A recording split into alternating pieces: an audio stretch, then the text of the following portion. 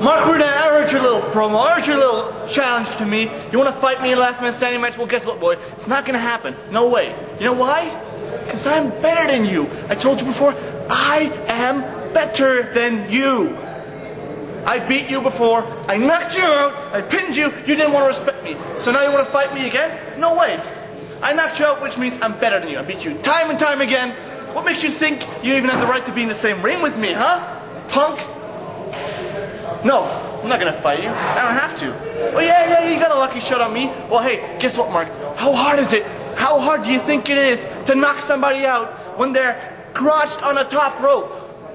Bloody freaking da! I don't have to respect you for that. You got lucky and you took advantage of me. That's what you did. You want to get in with me again, huh? I'd love to kick your ass again. You know what? I will. You know what? I might just kick your ass. You know what? You want to get in the ring with me? You really want to, boy? You really want to face these these guns again? I might. I might just give you the shot to get in the ring with the Ab Master of the Universe one more time.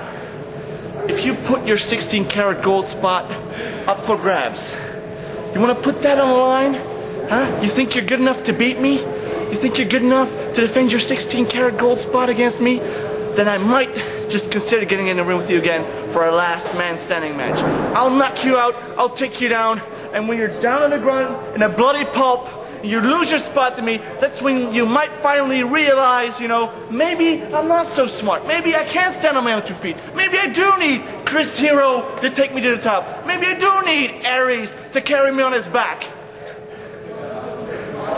Think about that when you challenge me again.